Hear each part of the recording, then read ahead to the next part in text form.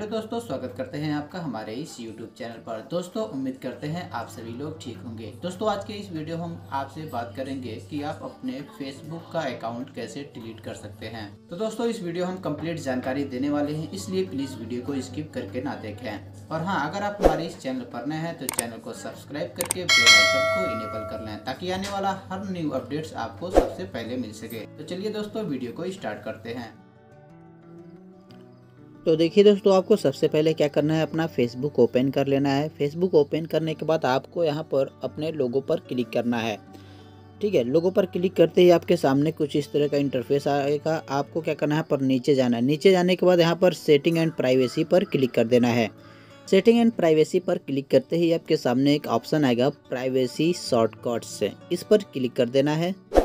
इस पर क्लिक करते ही आपके सामने इस तरह का कुछ इंटरफेस शो होगा। आपको क्या करना है? इसमें नीचे जाना है। नीचे जाना है। और यहाँ पर आपको ऑप्शन दिख रहा है delete your account and information तो आपको क्या करना है? इस पर क्लिक कर देना है। इस पर क्लिक करते ही दोस्तों आपके सामने शो हो रहा है डीएक्टिवेटिंग और डिलीटिंग योर फेसबुक अकाउंट तो पहला है डीएक्टिवेट अकाउंट दूसरा है डिलीट अकाउंट तो अगर आपको अपना अकाउंट डिलीट करना है तो डिलीट अकाउंट पर टिक करके कंटिन्यू टू डिलीट अकाउंट पर क्लिक कर देंगे। दोस्तों, उम्मीद करते हैं आपको यह वीडियो पसंद आई होगी। आपको यह वीडियो कैसा लगा, हमें कमेंट में कमेंट करके ज़रूर बताएँ। अगर आप हमारे इस चैनल पर नए हैं तो चैनल को सब्सक्राइब कर लें।